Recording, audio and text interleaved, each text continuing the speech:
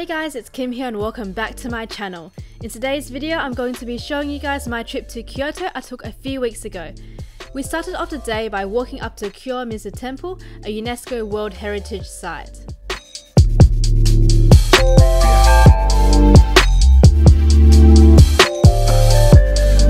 This is the most visited temple in Kyoto. The name literally translates to Pure Water Temple.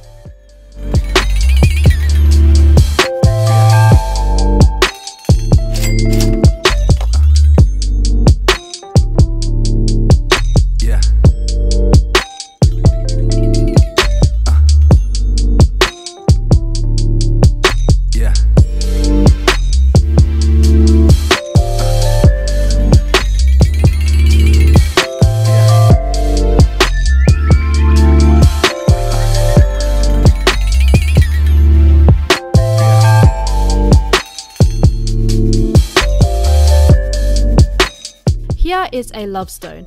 It is said that if you are able to walk from one end to the other whilst having your eyes closed, it is said that your wish for love will be granted. I managed to do it with a lot of help.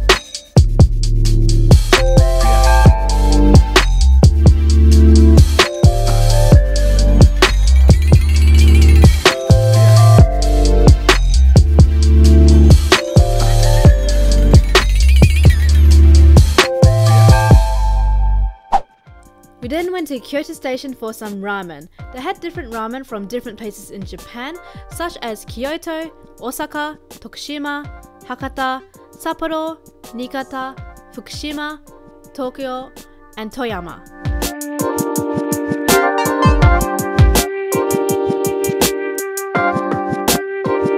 Ramen now and we can choose lots of different ramen from different areas in Japan. So I decided to go for Hakata Ramen which is in Kyushu and I've never been to Kyushu before and from the picture it looked really interesting so I decided to try it and I got the uh, red one which is a spicy one because I love spicy food.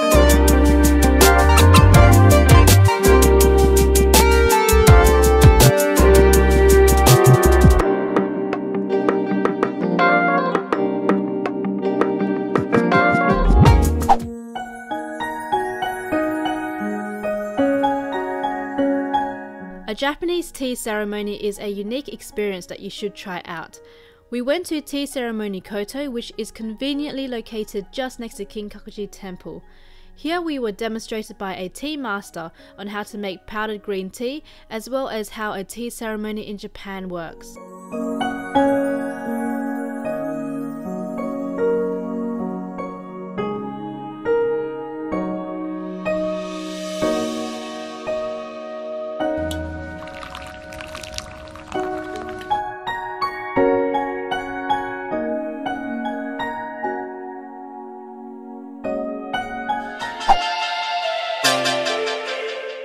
Then walked over to Kinkakuji, the Golden Pavilion.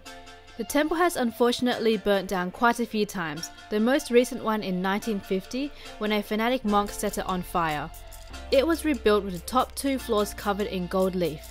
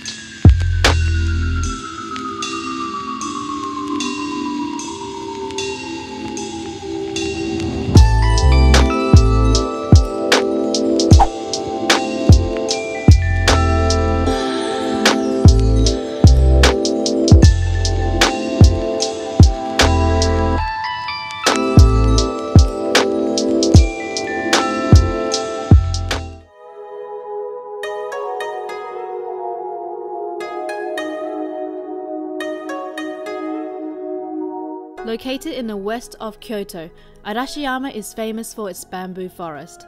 It is definitely worth checking out and walking around to take in the beautiful scenery.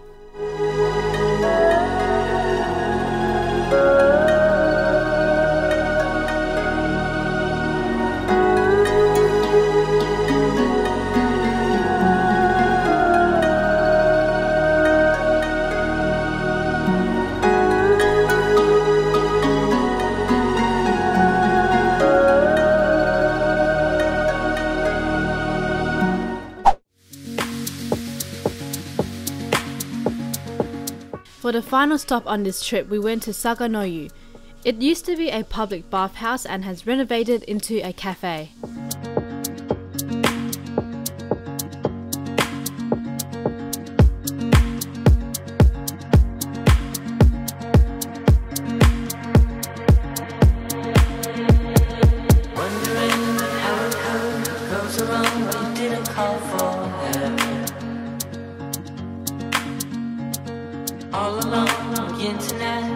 Don't seem to forget about yourself.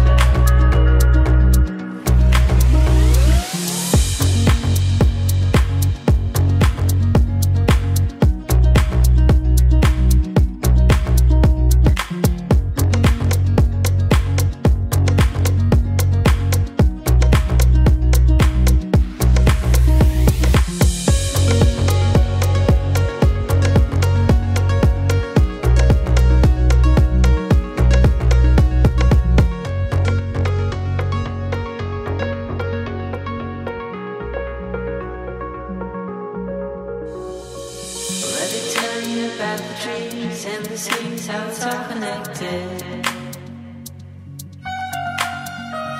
The flowers and the birds and bees, the northern lights, yeah, we're all affected.